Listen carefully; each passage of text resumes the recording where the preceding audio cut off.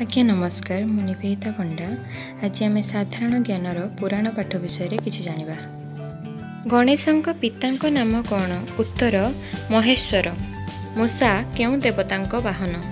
ଉତ୍ତର ଗଣେଶ। ମୟୂର ଉପରେ କେଉଁ ଦେବତା ବସିଥାନ୍ତି? ଉତ୍ତର କାର୍ତ୍ତିକ। ରାବଣଙ୍କ କେଉଁ ଭାଇ ରାମଙ୍କ ନିକଟରେ ରହିଥିଲେ? ଉତ୍ତର ବିଭୀଷଣ। ଦ୍ରୌପଦୀଙ୍କ ଭାଇ କିଏ? ଉତ୍ତର ଧୃଷ୍ଟଦ୍ୟୁମ୍ନ। ମହାଭାରତରେ କର୍ଣ୍ଣ କେଉଁ ଦେବତାଙ୍କର ପୁତ୍ର ଥିଲେ? ଉତ୍ତର ସୂର୍ଯ୍ୟ।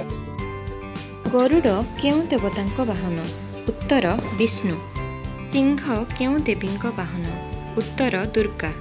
ବୃଷଭ କେଉଁ ଦେବତାଙ୍କ ବାହନ? ଉତ୍ତର ଶିବ। ମଇଁଷି କେଉଁ ଦେବତାଙ୍କ ବାହନ? ଉତ୍ତର ଯମ। ଢିଙ୍କି କେଉଁ ଦେବତାଙ୍କ ବାହନ? ଉତ୍ତର ନାରଦ। କେଉଁ ଦେବତାଙ୍କର ତିନୋଟି ଆଖି ଅଛି? ଉତ୍ତର ଶିବ। ଅର୍ଜୁନଙ୍କ ମାତାଙ୍କ ନାମ କ'ଣ ଥିଲା? ଉତ୍ତର କୁନ୍ତି। ଅର୍ଜୁନଙ୍କ ପିତାଙ୍କ ନାମ କ'ଣ? ଉତ୍ତର ପଣ୍ଡୁ। ନକୁଳ ସହଦେବଙ୍କ ମାତାଙ୍କ ନାମ କ'ଣ? ଉତ୍ତର ମାଦ୍ରୀ। ଅଜ୍ଞାତବାସ ସମୟରେ ପାଣ୍ଡବମାନେ କେଉଁ ରାଜାଙ୍କ ରାଜ୍ୟରେ ରହିଥିଲେ? ଉତ୍ତର ବିରାଟ। ଅର୍ଜୁନଙ୍କର କେଉଁ କଥା ଶୁଣୁ ଶୁଣୁ ସୁଭଦ୍ରା ଶୋଇପଡ଼ିଥିଲେ?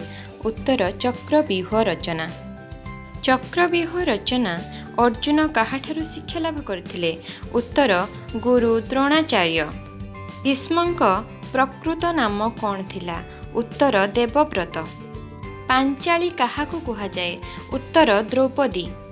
ଇଏ ଭବିଷ୍ୟତ କଥା ଜାଣି ମଧ୍ୟ ନ ପଚାରିବା ପର୍ଯ୍ୟନ୍ତ କହୁନଥିଲେ। ଉତ୍ତର ସହଦେବ। ଶ୍ରୀକୃଷ୍ଣଙ୍କ ଶଙ୍ଖର ନାମ କ'ଣ? ଉତ୍ତର ପାଞ୍ଚଜନ୍ୟ। ଶ୍ରୀକୃଷ୍ଣଙ୍କ ଚକ୍ରର ନାମ କ'ଣ? ଉତ୍ତର ସୁଦର୍ଶନ।